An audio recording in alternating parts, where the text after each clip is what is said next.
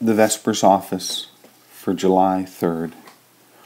O gracious light, pure brightness of the ever living Father in heaven, O Jesus Christ, holy and blessed. Now, as we come to the setting of the sun and our eyes behold the vesper light, we sing your praises, O God, Father, Son, and Holy Spirit. For you are worthy at all times to be praised by happy voices, O Son of God, O Giver of life, and to be glorified throughout all the worlds. Taste and see that the Lord is good. Happy are those who trust in him. O Lamb of God that takes away the sin of the world, have mercy upon me. O Lamb of God that takes away the sin of the world, have mercy upon me. O Lamb of God that takes away the sin of the world, grant me your peace. Happy are those who choose and draw into your courts to dwell there. They will be satisfied by the beauty of your house, by the holiness of your temple. Somebody's knocking at your door. Somebody's knocking at your door. O sinner, why don't you answer? Somebody's knocking at your door. Knocks like Jesus.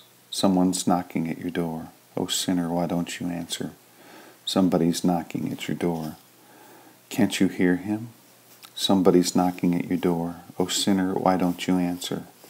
Somebody's knocking at your door. Answer Jesus. Somebody's knocking at your door. O sinner, why don't you answer? Somebody's knocking at your door. Jesus calls you. Somebody's knocking at your door. O sinner, why don't you answer? Somebody's knocking at your door. Can't you trust him?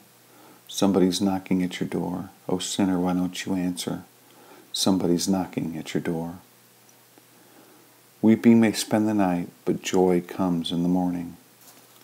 The Vesper Psalms is taken from Psalms chapter 51, verses 17 through 18. Had you desired it, I would have offered a sacrifice. But you take no delight in burnt offerings. The sacrifice of God is a troubled spirit, a broken and contrite heart, O God, you will never despise. Weeping may spend the night, but joy comes in the morning. In the evening, in the morning, and at noonday, I will lift up my prayer and cry out to you, and you will hear my voice. Our Father, who art in heaven, hallowed be thy name. Thy kingdom come, thy will be done on earth as it is in heaven. Give us this day our daily bread, and forgive us our trespasses, as we forgive those who trespass against us. And lead us not into temptation, but deliver us from evil. For thine is the kingdom, and the power, and the glory, for ever and ever. Amen. O God, you have taught me to keep all your commandments by loving you and my neighbor. Grant me the grace of your Holy Spirit, that I may be devoted to you with my whole heart and united to others with pure affection. Through Jesus Christ our Lord, who lives and reigns with you and the Holy Spirit, one God, for ever and ever. Amen.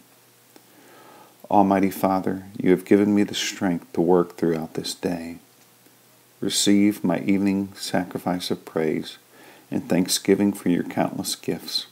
I ask this through my Lord Jesus Christ, your Son, who lives and reigns with you in the Holy Spirit, one God, forever and ever. Amen.